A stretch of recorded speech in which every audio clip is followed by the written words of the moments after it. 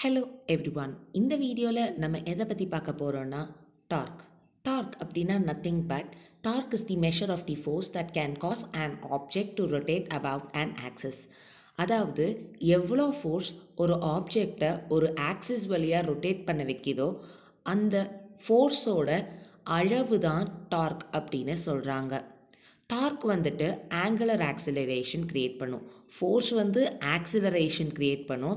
Dark ஒரு பொருளை rotational மோஷனில் நகர்த்துறனால அது ஆங்குலர் ஆக்சிலரேஷன் க்ரியேட் பண்ணும். டார்க்கில் எந்த பாயிண்டில் ஆப்ஜெக்ட் ரொட்டேட் ஆகுதோ அந்த பாயிண்ட் வந்து ஆக்சிஸ் ஆஃப் ரொட்டேஷன் அப்படின்னு சொல்லுவாங்க. இதை சிம்பிளாக சொல்லணுன்னா ஒரு ஆணி கன்சிடர் பண்ணிக்கிங்க இது கிரவுண்டில் டிப் ஆகிருக்கு அப்படின்னு கன்சிடர் பண்ணிக்கிங்க.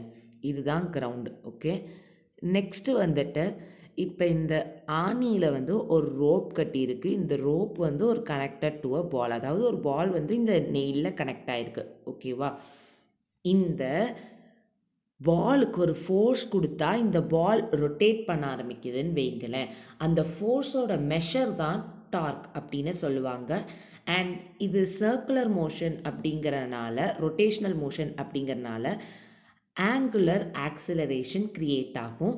அண்ட் இந்த பாயிண்டில் தான் அந்த ஆப்ஜெக்ட் சுற்றுது இதை தான் மெயின் பாயிண்ட்டாக வச்சு சுற்றுது ஸோ இதுதான் ஆக்சிஸ் ஆஃப் ரொட்டேஷன் நெக்ஸ்ட் நம்ம டார்க்கோட சிம்பிள் அண்ட் எஸ்ஐ யூனிட் பார்க்கலாம்.